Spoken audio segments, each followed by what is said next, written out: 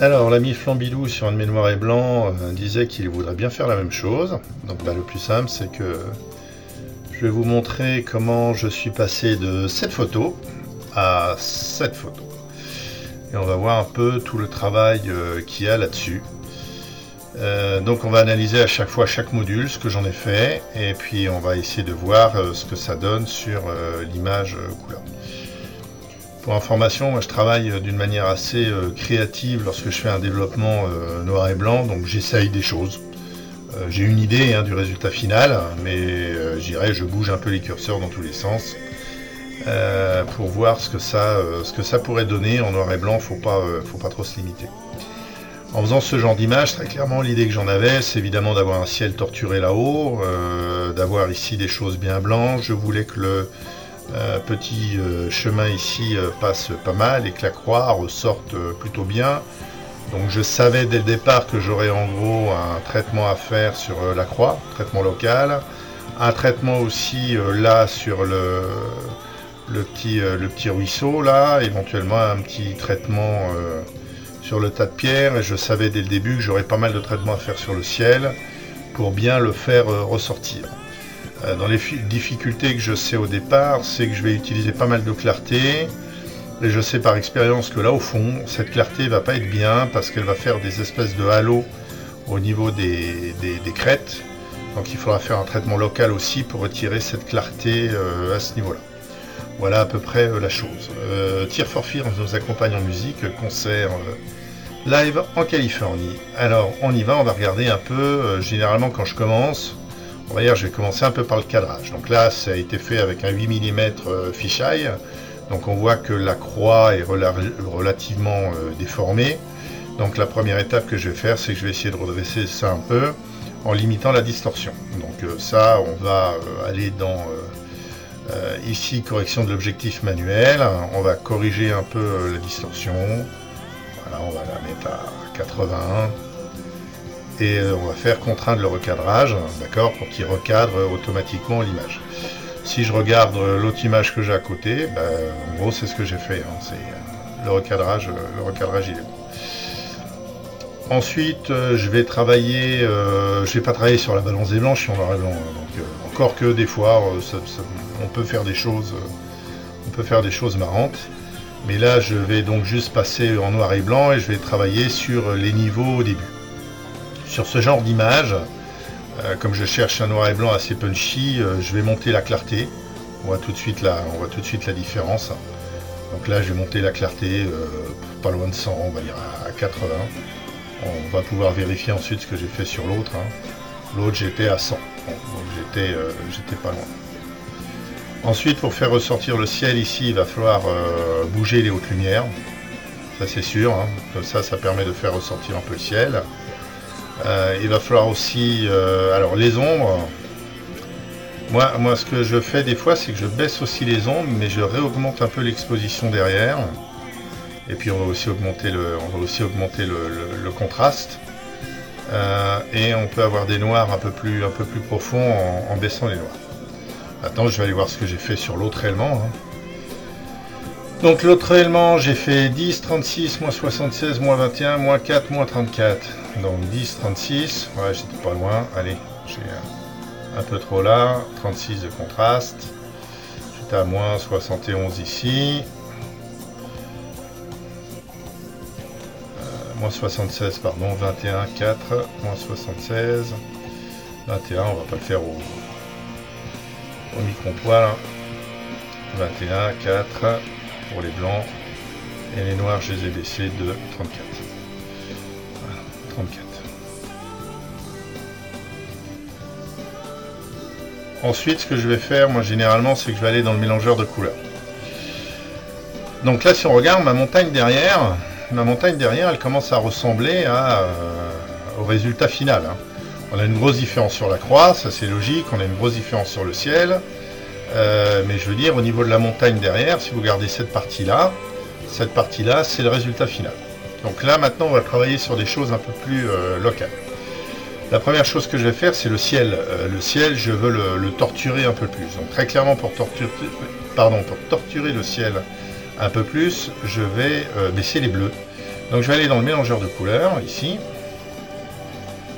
Alors lui, il a pris ses valeurs par défaut, hein, et ce que je vais aller faire, c'est que je vais aller baisser le bleu. Donc là, on voit qu'on amène, on amène ici, là on commence à amener euh, des choses intéressantes dans le ciel qu'on n'avait pas avant. Il y a toujours un peu de bleu dans le ciel, même quand il est, euh, même quand il est blanc comme ça ou nuageux, il y a toujours un peu de bleu.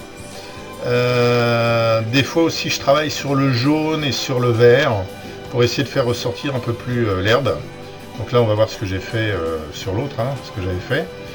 Donc euh, on voit que le bleu, je l'avais baissé, tout à fait. Et on voit que le jaune, je l'ai mis à moins 7. Et le vert, n'y ai pas touché. Donc le jaune, je l'ai baissé un peu, le jaune. Bah, je l'ai remonté plutôt. Parce que là, il l'avait baissé. Vous voyez, là, ça, commence à remonter un, remonter un peu l'herbe. Moi, j'ai préféré comme ça. L'orange, moins 2, alors moins 2, 23. Oui, le rouge, je sais pas s'il y en a. Non, il n'y en a pas de rouge, d'ailleurs, on voit. Hein donc c'est pas la peine de se prendre la tête avec ça. Euh, orange, j'ai remonté l'orange, pourquoi? Pour faire ressortir un peu ici des, choses derrière pour que l'herbe ne soit pas aussi, euh, euh homogène. C'est ça qui est intéressant. Dans un noir et blanc, essayer de faire des contrastes, des choses qui, des choses qui ressortent. Euh, ensuite, continuons le vert, donc moins 7, 0, moins 45. Pourquoi j'ai un moins 45 sur le bleu vert? Le vert, 0. Donc là, c'est pareil, j'ai remonté un peu du vert pour faire ressortir. Euh, bleu-vert, est-ce qu'on en a? Oui, le bleu-vert, on voit qu'on en a au fond ici, là, ici. Quand je bouge le bleu-vert, on en a ici. C'est souvent le cas. Euh, donc je sais plus à combien, je vais aller à moins 40. Euh, et ensuite, j'avais encore le bleu que j'ai descendu, le pourpre à plus 42. pourquoi le pourpre? Le pourpre, il y en a un peu dans le, il y en a un peu dans le ciel. D'accord? Ok. Ensuite, une fois que j'ai fait ça, j'ai en gros terminé, on va dire, le, boulot. Euh, alors on peut, on peut, on terminera par un petit vignettage euh, forcément euh, ici. Mais là, j'ai un peu terminé le, boulot général. Je maîtrise pas trop courbe de tonalité, il y a sûrement plein de choses à faire avec, mais c'est un module, j'ai jamais pris le temps vraiment de m'y intéresser. Parce que c'est vrai que si je descends les hautes lumières là, ou je les augmente, on peut, on peut faire plein de choses mais euh, je suis pas, je suis pas familier avec ça, donc euh, moi j'utilise les recettes que je connais et euh, ça me va pas trop mal. Donc là on va regarder les retouches locales que j'ai pu faire. Bon déjà le ciel, qu'est-ce que j'ai fait? Ben, Le ciel j'ai fait des filtres dégradés.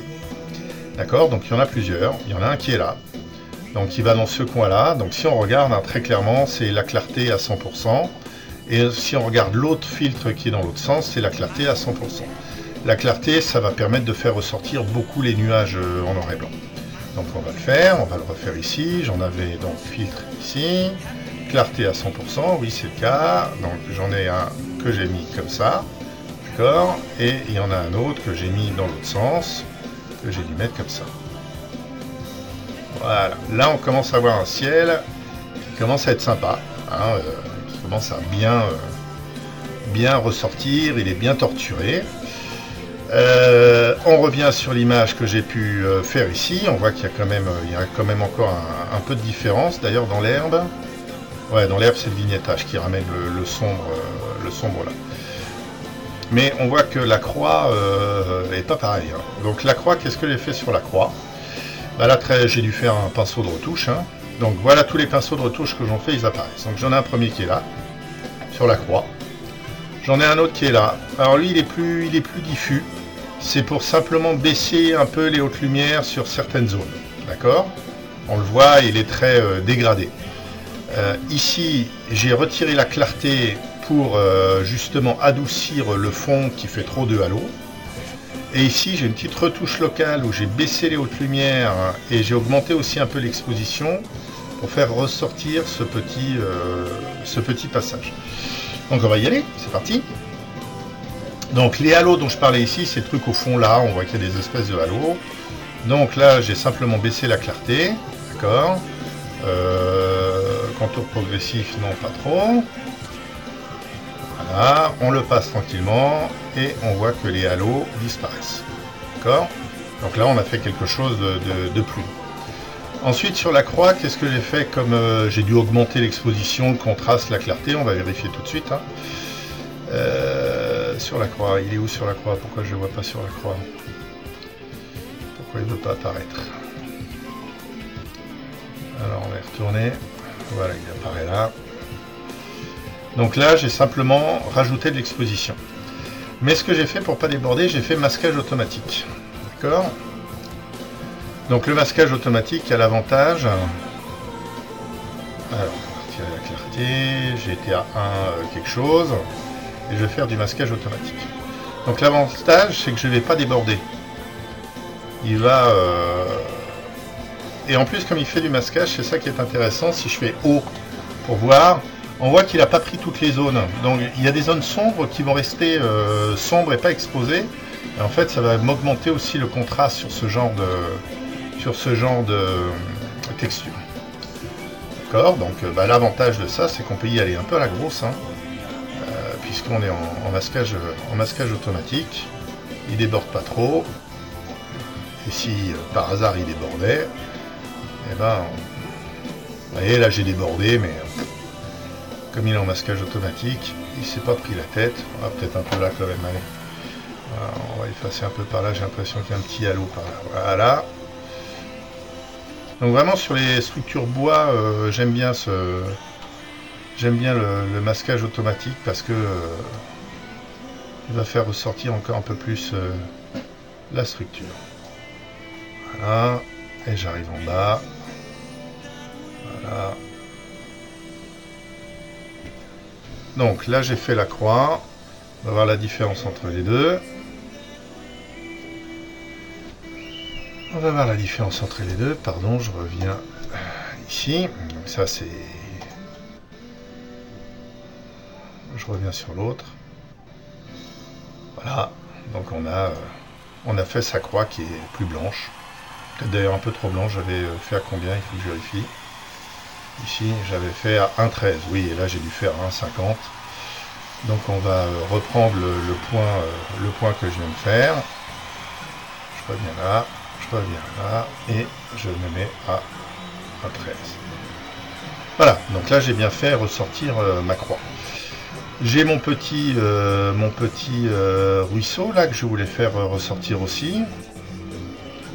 Vous voyez, là, il ressort, il ressort un peu plus. Hein si je, si je le regarde comme ça. Ok, donc j'ai euh, haute lumière, j'ai baissé les hautes lumières et puis j'ai augmenté un peu euh, l'exposition. Donc j'y vais, je baisse un peu les, hautes lumières et j'ai augmenté l'exposition 40, donc je sais pas combien, et baisser les hautes lumières. Là, Là, je vais prendre un contour un peu plus euh, progressif. Je retire le masquage automatique et je passe sur mon petit, euh, sur mon petit ruisseau. Là, je, fais un peu plus en pointe.